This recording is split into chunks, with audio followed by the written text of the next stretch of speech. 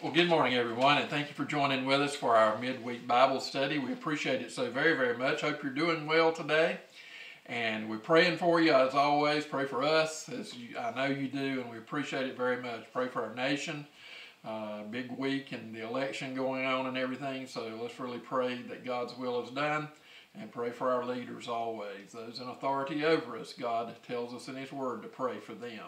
We should always do that. Pray for our church family, those who uh, may be sick or afflicted, recovering from surgery, or whatever may be going on in all of our lives or any of our lives, uh, let's continue to pray uh, that God's will would be done and healing would be administered unto us. Today we're going to pick up uh, with our study First John. We looked at uh, chapter uh, 1 and the first two verses of chapter 2 last week. Uh, we'll be in chapter 2 today. We'll review those couple first verses and maybe even some of those in the last part of chapter 1. But it is good to have you with us today. This chapter is full of uh, spiritual truth, uh, spiritual wisdom, uh, knowledge for the believer. Uh, really, we will not do it justice by trying to cover it all in one session, but we will do that at this time been thinking about doing a real in-depth study of uh, John's epistles, uh, but we will uh, do this kind of survey now and then maybe later, uh, maybe even put some sermons together for Sunday uh, on uh, First John, Second John, and Third John. But today we'll be looking at First John chapter 2. So if you have your Bibles open there, let's go ahead and begin with the verses there. The Bible says, my little children, these things write I unto you that ye sin not. What things is John talking about there? Well, the things he talked about in chapter 1. Uh, of course, uh, having fellowship with the Father. How do we do that? Well, we walk in the light uh, of God, and that walking in light means that our sins are revealed, they're open to God, and we confess those sins. That's how we walk in light. And of course, walking in light has another meaning, and that's to walk in the ways and truths of God's Word. We walk in the light of the Lord Jesus Christ, His ways, and we know His ways by reading the Bible, studying just as we are right now, and therefore living a life pleasing to Him, but also a life of uh, walking in the light that allows God to uh, a look inside our bodies, which he does anyway, but we freely confess sin. And that way uh, we can have a sweet fellowship with God at all times. So, my little children, these things write unto you that you sin not. And if any man sin, I love this verse, one of my favorite verses in all of Scripture. Uh, we have an advocate or one who continually pleads our case with the Father we have an advocate with the Father, Jesus Christ the righteous. It is His righteousness that God sees that has been placed upon us through faith in Christ. And Jesus continually pleads that case for us. And He is the propitiation or payment uh, or sacrifice for our sins, and not for ours only not for the believer only, uh, but he's also offered that to the whole world who can, by faith, experience forgiveness of their sins. Uh, so we see that very, very clearly today. And verse 3 And hereby we do not know uh, that we know him if we. I'm sorry, let's back up. I made that a total blunder. And hereby we do know that we know him if we keep his commandments.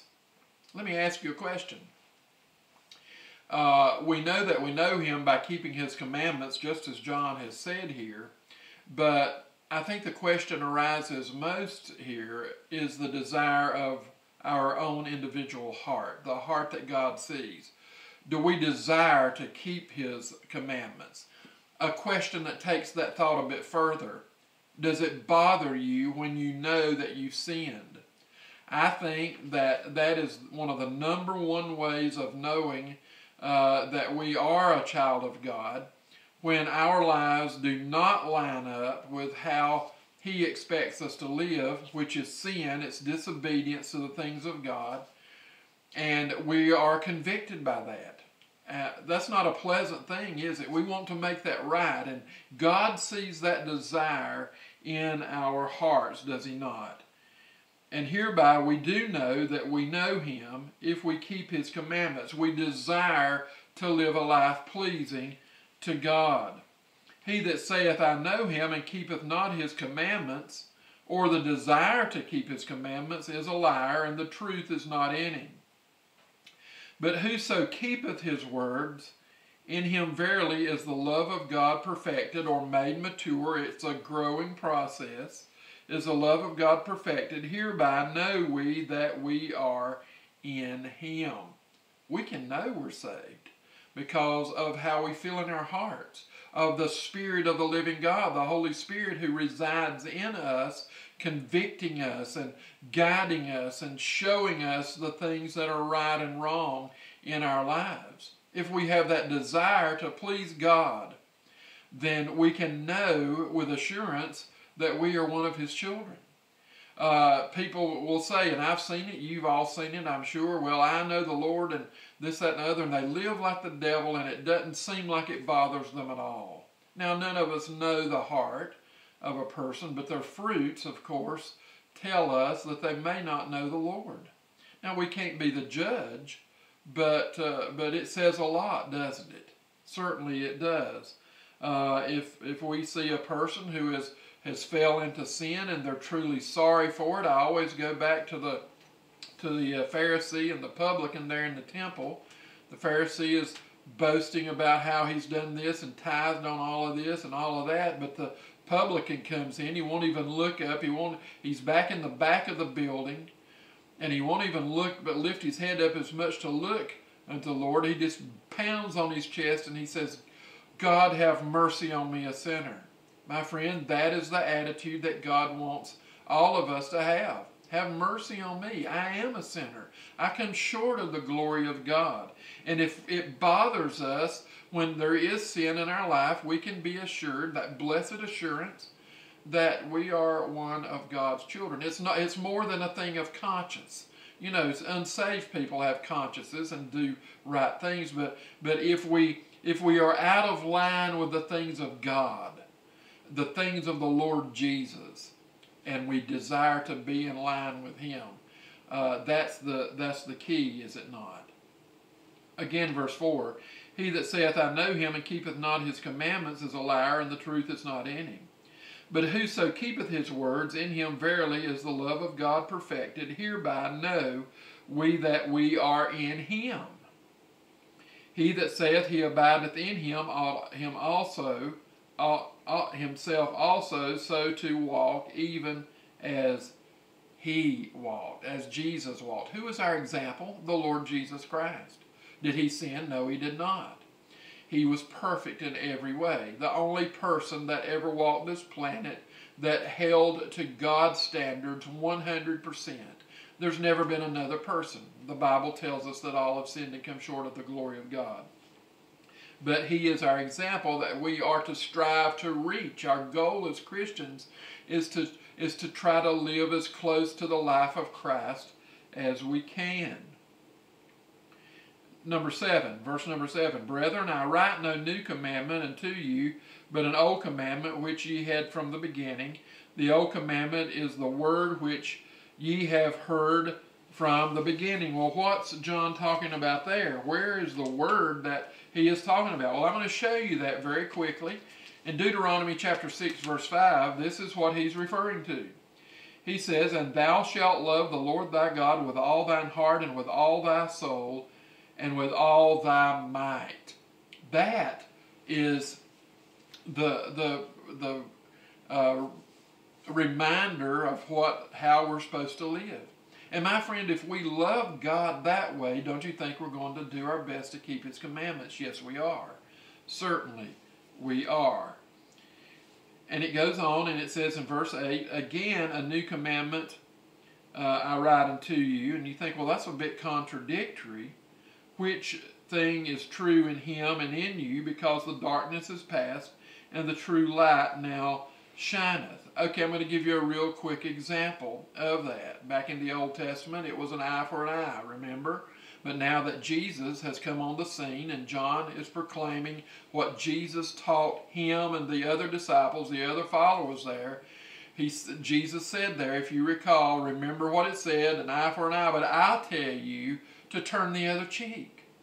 If a man hits you once on one cheek, I'm telling you to turn the other cheek. That's the new way. That's the new love that has entered in by grace uh, through God's mercy and power through Christ.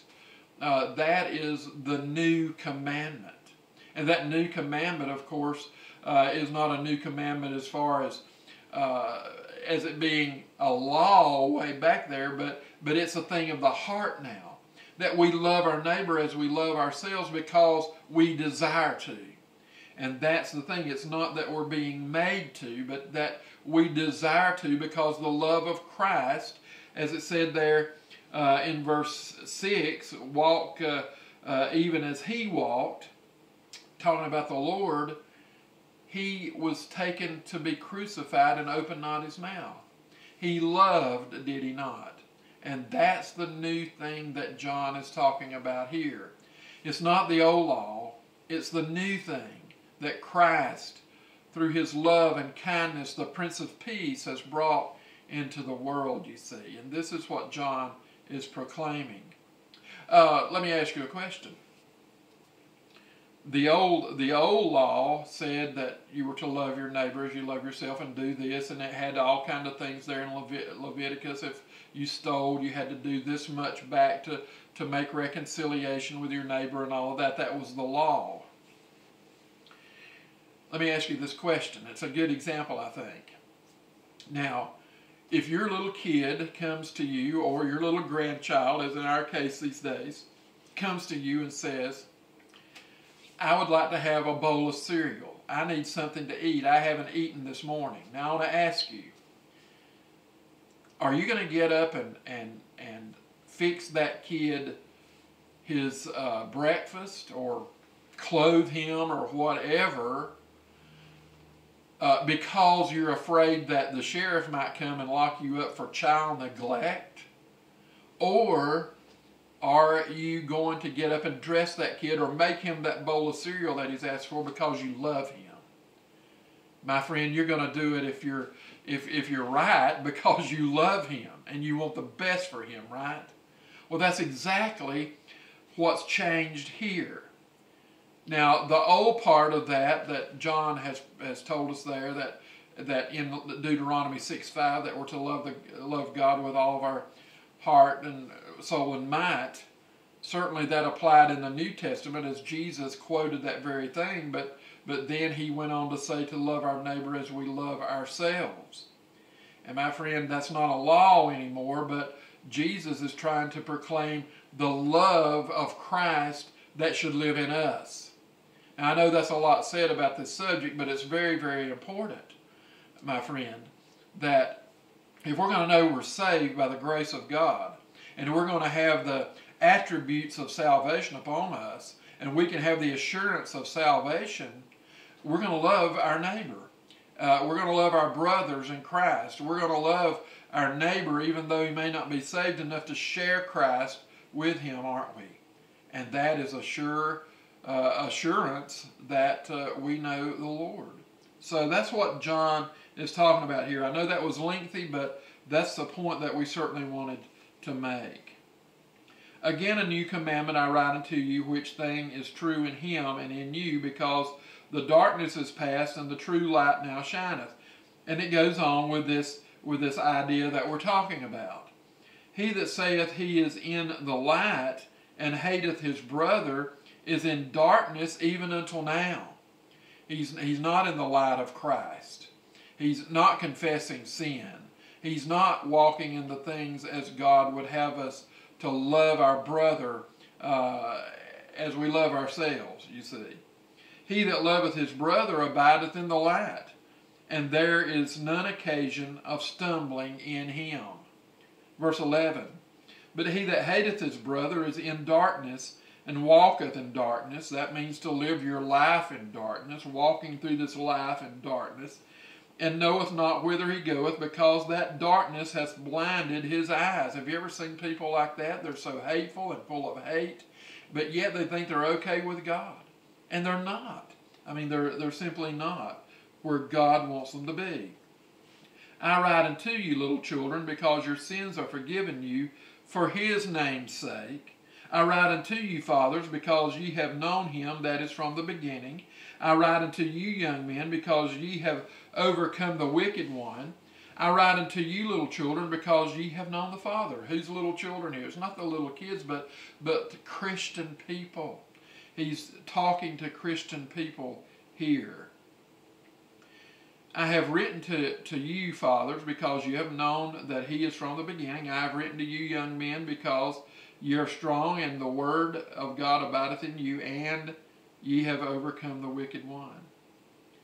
Love not the world. He changes gears here a little in verse 15. Love not the world, neither the things that are in the world. If any man love the world, the love of the Father is not in him. For all that is in the world, the lust of the flesh and the lust of the eyes and the pride of life, is not of the Father, but of the world.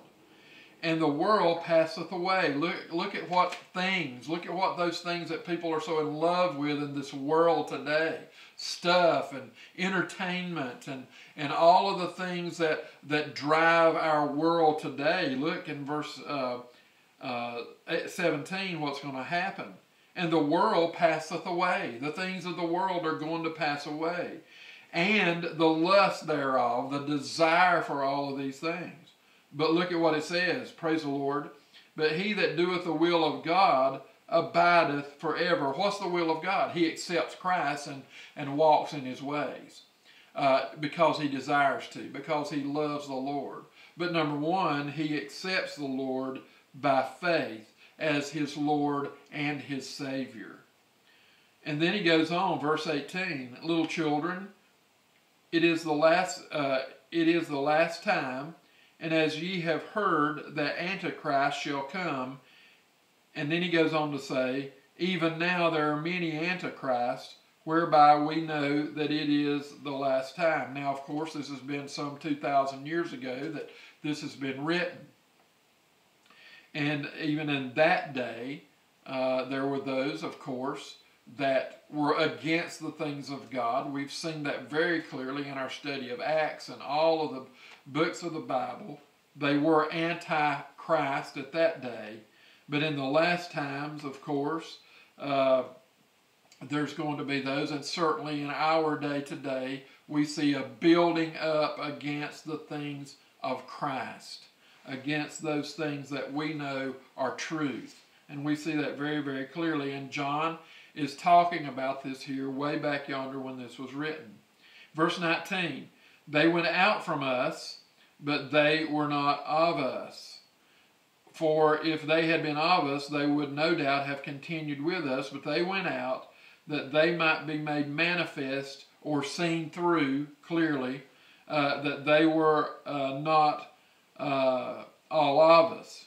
So you see, they were they came into the to the churches. They they were there. But my friend, well, you've heard me say this before, and probably every other preacher you've ever listened to. Uh, it doesn't matter uh, if you've been a member of, of a church. It doesn't matter if you've been baptized in every muddy river there is. Uh, the only thing that matters is what God sees inside your heart, and that is faith in Christ to forgive you and to cleanse you uh, from your unrighteousness, your sins, and to cover your sins. And that comes by simple childlike faith in receiving the death, burial, and resurrection of Jesus Christ uh, and making him Lord of your life. And when he's Lord of your life, you will walk in light and you will walk in his ways by the desire of your heart. This is what John is trying to to get across here. There are those that were with them in the church that were not of them. And that, and unfortunately, that's the, it's that way and has been all the way down through the history of the church. There are those who who showed uh, on the outside who they they uh, wanted to be seen, but then on the inside they were not. And here we see that these people have stepped out and left them. We see the same thing today uh, it's not that moving to another church or something or, or just stepping out of the church makes you unsaved uh, as far as physically stepping out, but it's that the, the, the truth is that these people were never in the flock to begin with. It just looked like they were on the outside. And this is what John is talking about. Verse 20, but ye have an unction, an anointing is what that means, from the Holy One, the Holy Spirit, and ye know all things. Discernment. We know the Christian brother and sister, don't we, by, by the Spirit that lives in us and our discerning spirit. I have not written unto you because ye know not the truth, but because you know it, and, and that no lie is of the truth. Who is a liar but he that denieth that Jesus is the Christ? Certainly that is a lie.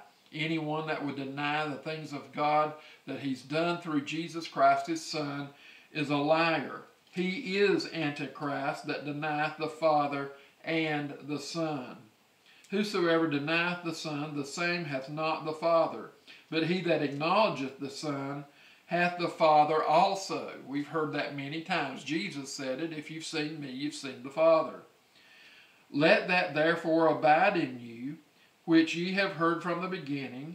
If that which ye have heard from the beginning shall remain in you, ye also shall continue in the Son and in the Father. And this is the promise that he hath promised us, even eternal life. My friends, even eternal life. These things have I written unto you concerning them that seduce you. But the anointing which ye have received from him abideth in you, and you need not that any man teach you. You've heard me say it many times after I do a sermon or a, a, Bible study, and may even say it today. I guess I will. Now you go home and read that and allow God the Holy Spirit to teach you these things that we've talked about. To teach you, but as the same anointing teaches, teacheth you of all things, and is truth, and is no lie, and even as it hath taught, uh, hath taught you, you shall abide in him. And now, little children, abide in him, that when he shall appear in the rapture, when he comes, we may have confidence. I've done the, my very best to serve God and to please God and to walk in light and confess my sins and to have fellowship with Him. You see, John's building all of this up to this point that we may have confidence and not be ashamed before Him at His coming. Oh, my friends, that's a tough one, isn't it? I'd say everyone listening this morning can think of things that make us ashamed that we've come short of the glory of God in. But we go back to verse 2 of this chapter. We have, or verse 1, I'm sorry. But if we sin, we have an advocate with the Father, Christ Jesus the righteous. Praise the Lord. And then verse 29 If ye know that he is righteous, ye know that everyone that doeth righteousness is born of him. So, what's this all saying in a nutshell today? it's saying if we desire in our heart the place that no one else can really see but us and God, but if we desire in our heart to serve God, and we have this conviction, this, this, I'm sorry, Lord, for doing that mentality here and in our heart, the heart of hearts, then we can be assured of our salvation. If we can go about in the world doing things that are contrary to the writings of God's Word and His teaching us how to live for Him and never have any remorse about that, any feeling of sadness or sorriness about it, then it would be time to check up on our relationship with Christ. It would be time to be as that publican in the temple that day to pound upon our chest and say, God, have mercy on me, a sinner. That's how the Lord wants us to come into Him in that kind of fellowship. That way, we're confessed up, as a lot of old time preachers say. We're prayed up and ready to go up and not be ashamed. That is a wonderful chapter in God's Word. It's a deep, deep chapter. We have not done it justice by our short time here together today.